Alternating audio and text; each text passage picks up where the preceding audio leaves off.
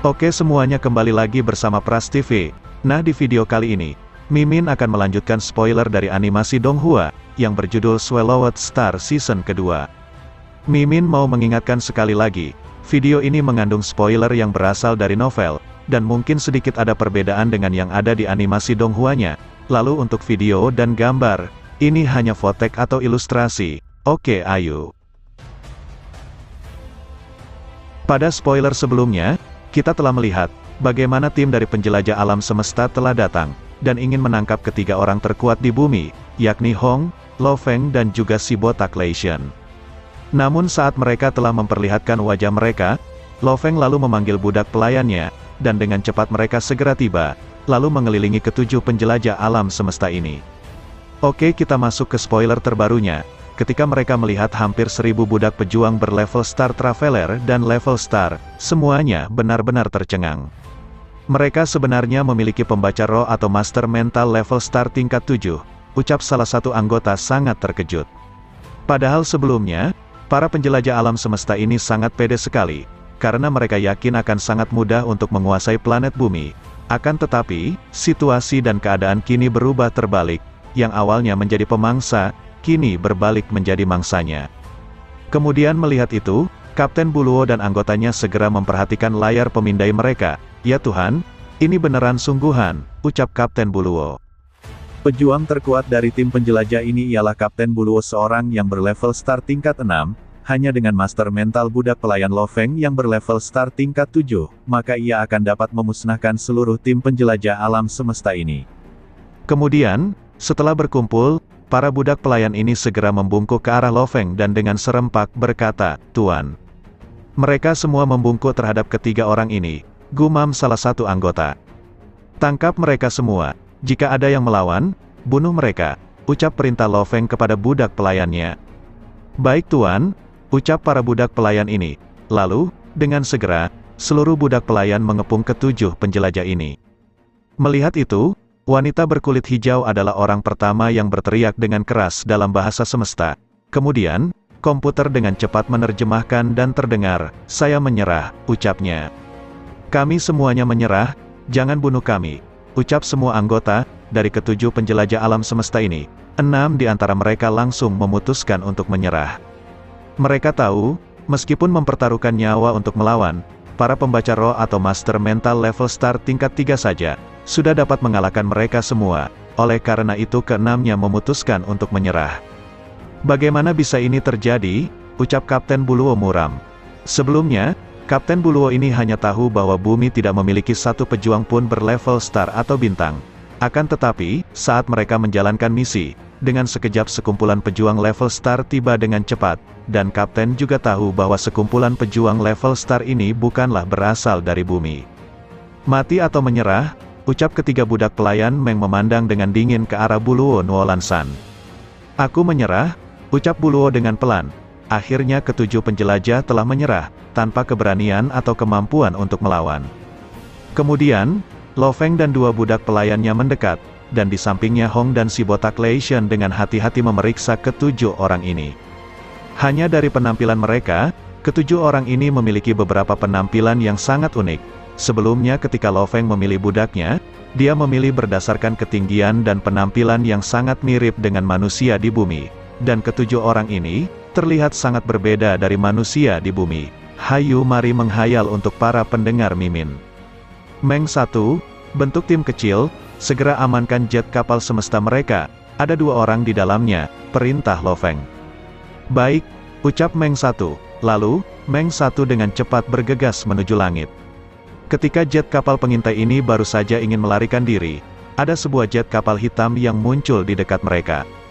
Ternyata manusia bumi ini juga memiliki jet kapal alam semesta, ucap anggota Kapten Buluo yang berada di dalam jet kapal. Kami menyerah, jangan bunuh kami, ucap keduanya, kedua anggota ini memiliki kekuatan berlevel Star Traveler tingkat 9, hanya dengan Meng satu seorang saja, sudah cukup untuk menghancurkan mereka. Kemudian setelah selesai, Meng Satu segera kembali ke hadapan Loveng, Hong dan juga si botak Leishan. Kau dipanggil Buluo Nuolan San, ucap Loveng memastikan nama dari kapten penjelajah tersebut.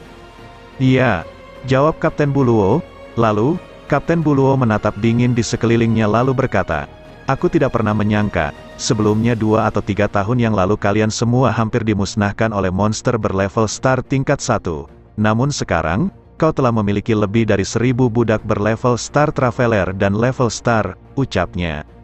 Kau memiliki jet kapal alam semesta, kalau begitu kau sebelumnya pasti telah bepergian ke planet lain, dan pejuang Meng Hitam ini, kamu membelinya kan?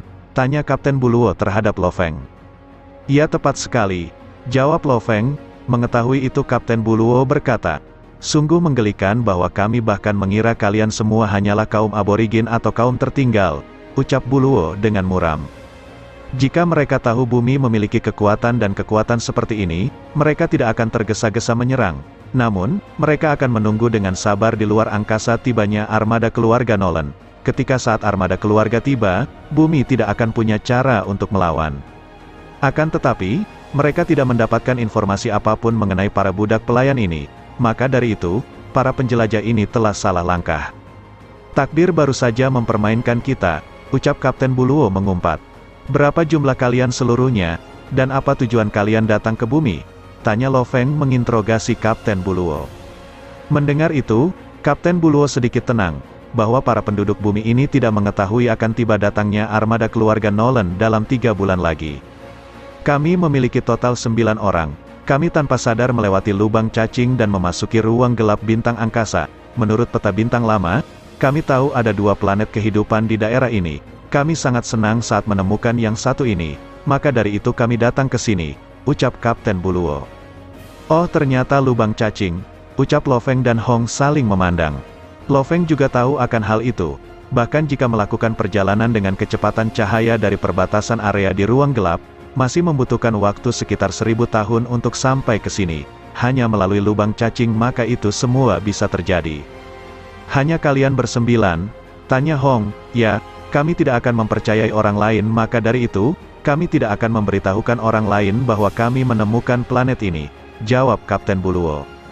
Mendengar itu Lo Feng, Hong, dan Dewa Petir mengangguk.